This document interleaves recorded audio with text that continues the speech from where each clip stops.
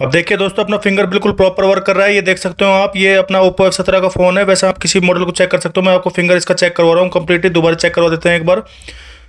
Hello guys welcome to this my our YouTube channel मेरा नाम दीपक है और आपका फिर से स्वागत है आपके चैनल में।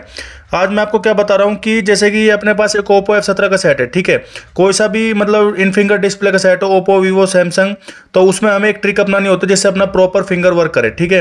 हम आपको इसकी ट्रिक का पूरा सोल्यूशन बताएँगे। कंप्लीट इस वीडियो में बने रहना वॉच करना, ठीक है? जैसे देखिए अपने ये, अपना ये, अपना सेट है, मैंने इसमें रबड़ लगा रखा है तो उसको चेक ज़रूर करना है। पन्नी हटा के, पीछे की पन्नी हटा देना, आगे की पन्नी हटा के इसको प्रॉपर फिट करके इस तरीके से रबड़ लगा के आप पहले इसको चेक करना है फिंगर को, ठीक है?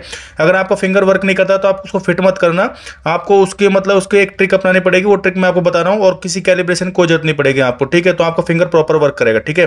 बाकी फोल्डर वगैरह आप लगा लोगे पेस्टिंग वगैरह कर लोगे, आप वो चीज़ आप सब कर लोगे, मैं आपको पेस्टिंग वगैरह नहीं करके दिखाऊँगा, बाकी आपको ट्रिक बताऊँगा और डायरेक्ट पेस्टिंग करके आपको दोबारा दिखाऊँगा कि अपना प्रॉपर फिटिंग के बाद भी काम कर रहा है और वैसे भी काम कर रहा है फिंगर इस चीज़ में, ठीक है? तो अब इसका हम फिंगर चेक कर रहे हैं। तो इसको हमने अभी स्टार्ट किया है तो इसमें हमें क्या हमें पासवर्ड लगाना पड़ेगा। सबसे पहले तो हम पासवर्ड लगा लेते हैं इसमें, फिर उसके बाद में आपको फिंगर टेस्ट करवाते हैं दोबारा कि अपना फिंगर वर्क कर रहा है कि नहीं कर रहा है, ठीक है? हमने इसको पासवर्ड से खोल लिया है, दोस्तों। तो अब इसको हम आपका फिंगर चेक करवाते हैं कि इसका फिंगर वर्क कर रहा है नहीं कर रहा तो इसका फिंगर है जो प्रॉपर वर्क कर रहा है, क्योंकि हमने इसमें एक ट्रिक अपनाई है जो आपको मैं बताऊँगा तो वीडियो पे आप कंप्लीट बने रहना। तो आप भी इसी चीज़ का ध्यान रखना, आप भी पूरा कंप्लीट वीडियो को देखा करो और वॉच किया करो। आप वीडियो नहीं देखते हो, कभी भी ऑलरेडी फोल्डर लाते हो तो ऑलरेडी फोल्डर में फिंगर की किसी प्रकार कोई गारंटी नहीं आती है मार्केट में।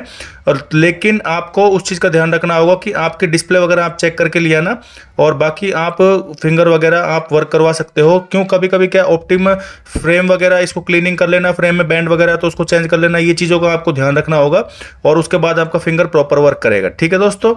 कोई दिक्कत नहीं आएगी। कि बहुत दिक्कत आती है कि भाई हमने मार्केट से ऑलरेडी फोल्डर लगवा लिया और फिर भी हमारा फिंगर वर्क नहीं कर रहा है ऑप्टिमाइजेशन नहीं हो रहा है, ऐसा कुछ तो हम इसकी रबड़ वगैरह हटा लेते हैं कि आपको टेस्टिंग के लिए मैंने ये फिट कर रखा था इसको तो आप भी इसी प्रकार से टेस्ट कर लेना है इसको। तो मैं इसका रबड़ अगर हटा के फ्रेम वगैरह हटा के आपको उस ट्रिक को कंप्लीटली बताता हूँ और ट्रिक को बताने के बाद डायरेक्ट मैं आपको इसको मतलब वीडियो को स्किप करके डायरेक्ट इसको फिट वगैरह करके प्रॉपर उसको बाद में आपको दिखाऊँगा, ठीक है? तो आप मेरे वीडियो पे थोड़ा सा प्यार दिया करो और इस वीडियो को कम से कम पचास लाइक कर देना दोस्तों, ठीक है? और चैनल पे नए हो तो सब्सक्राइब करना, जिससे आपको नोटिफिकेशन मिलता रहे। तो अब ये रबड़ वगैरह हटा रहे हैं, हम, और नट वगैरह इसको हम हटा लेंगे। आप वीडियो कंप्लीट वॉच नहीं करते और और इन फिंगर डिस्प्ले के ऊपर मैंने काफ़ी वीडियो डाली है, अपने चैनल पे वी बीस के ऊपर डाल रखी है ओप्पो के ऊपर डाल रखी है ओप्पो पे ओप्पो ओप्पो के काफ़ी मॉडल हैं जो जिनको मतलब इन फिंगर डिस्प्ले है, उनके ऊपर भी मैंने वीडियो डाल रखी है, ठीक है? अब वो ट्रिक क्या है, वो ट्रिक मैं आपको बता देता हूँ कि सबसे पहले तो ये जो अपना सेंसर देख रहे हो, ये फिंगर का, इसमें मतलब एक ट्रिक अपनानी है। कि जैसे अपना ये frame frame neat and clean वगैरह कर लेना तो इस तरीके से आपको क्या डबल टेप लगा देनी है, ठीक है? चारों साइड से फिंगर से मतलब फिंगर के साइड साइड में डबल टेप लगा देनी है ब्लैक टेप लगा सकते हो आप, जो अपनी मतलब इलेक्ट्रॉनिक्स की आती है, वो टेप भी आप इसमें लगा सकते हो डबल डबल करके थोड़ा थोड़ा जिससे कि इसकी बीम लाइट मतलब फिंगर पर डायट आए और अपना फिंगर प्रॉपर वर्क करे, ठीक है?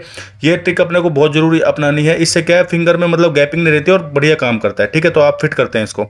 तो अब हमने इसको क्या फिट कर लिया है कंप्लीटली आपका टाइम वेस्ट ना हो तो इसलिए हमने इसको कंप्लीटली फिटिंग वगैरह करके इसको प्रॉपर फिट कर लिया तो इसको तीन, चार, पाँच छः घंटे इसमें रबड़ लगे रहने दिया करो और जिससे ये अच्छे तरीके से फिट हो जाए, क्योंकि इसकी फिटिंग बहुत ज़रूरी होती है। ऑलरेडी फोल्डर की जब भी अपना फिंगर वर्क करता है तो अब अपना ये फिंगर प्रॉपर वर्क कर रहा है।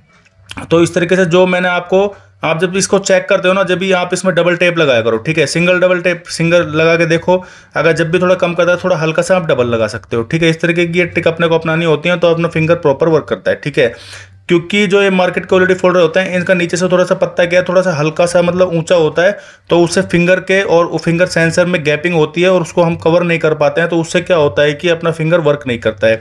और जो फिंगर की फिंगर सेंसर की जो बीम लाइट होती है, वो डायरेक्टली अपने डिस्प्ले से बाहर निकलती है और उसके कारण से अपना फिंगर वर्क नहीं करता है। तो ये एक बहुत ही मोस्ट कॉमन प्रॉब्लम है, जो मैं आपको बताना चाह रहा हूँ। अगर आप न्यू टेक्नीशियन हो तो आपके लिए बहुत बढ़िया है और वीडियो आपको अच्छी लगी तो इसको लिए बहुत बहुत धन्यवाद। थैंक यू दोस्तों।